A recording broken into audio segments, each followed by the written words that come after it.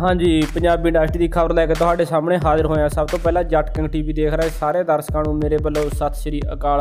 ਹਾਂਜੀ, ਅੱਜ ਅਸੀਂ ਗੱਲ ਕਰ ਜਾ ਰਹੇ ਹਾਂ Punjabi industry legend singer Sidhu Moosewale ਬਾਰੇ।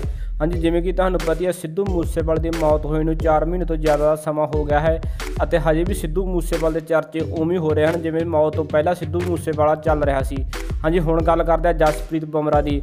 ਜੋ ਕਿ 2020 ਵਰਲਡ ਕੱਪ ਵਿੱਚੋਂ ਟੀਮ ਇੰਡੀਆ ਵਿੱਚੋਂ ਬਾਹਰ ਕਰ ਦਿੱਤੇ ਗਏ ਸੀ, ਜਿਸ ਤੋਂ ਬਾਅਦ ਲੋਕ ਉਹਨਾਂ ਨੂੰ ਬਹੁਤ ਹੀ ਜ਼ਿਆਦਾ ਟਰੋਲ ਕਰ ਰਹੇ ਸਨ ਵੀ ਉਹ ਪੈਸੇ ਲਈ ਸਿਰਫ ਆਈਪੀਐਲ ਹੀ ਖੇਡਦੇ ਹਨ, ਇੰਡੀਆ ਟੀਮ ਨਹੀਂ ਖੇਡਦੇ। ਹਾਂਜੀ, ਹੁਣ ਤੁਹਾਨੂੰ ਦੱਸਣ ਜਾ ਰਿਹਾ, ਉਹਨਾਂ ਨੇ ਵਿਰੋਧੀ ਨੂੰ ਜਵਾਬ ਦਿੰਦੇ ਹੋਏ ਕਿਹਾ ਹੈ ਕਿ ਸਿੱਧੂ ਮੂਸੇਵਾਲੇ ਦਾ ਗੀਤ ਲਾ ਕੇ 295 ਗੀਤ ਇਹ ਗੱਲਾਂ ਆਖੀਆਂ ਹਨ। ਹਾਂਜੀ, ਜਸਪ੍ਰੀਤ ਬਵਰਾ ਲਿਖਦੇ ਹਨ, ਮੁਸੀਬਤ ਤਾਂ ਮਰਦਾ ਤੇ ਪੈਂਦੀ ਰਹਿੰਦੀ ਹੈ, ਦਵੀ ਨਾ ਤੂੰ ਦੁਨੀਆ ਸਵਾਦ ਲੈਂਦੀ ਹੈ।